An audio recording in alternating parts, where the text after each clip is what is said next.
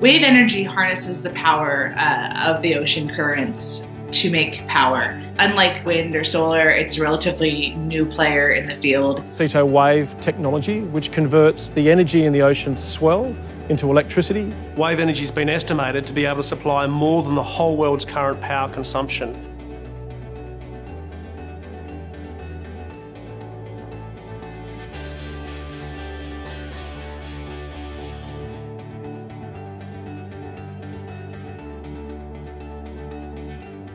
The technology sits fully submerged beneath the ocean surface and consists of a buoy which moves with the ocean's waves.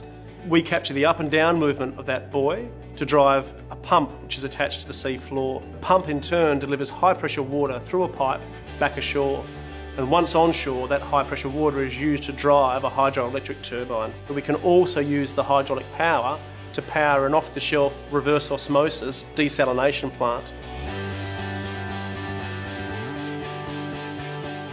The area for a wave farm will be much smaller than, say, a comparable solar farm with the same output. Waves are pretty predictable. We, we have a pretty clear schedule of tides, we know how the, the water moves, so it would be a reliable source of energy.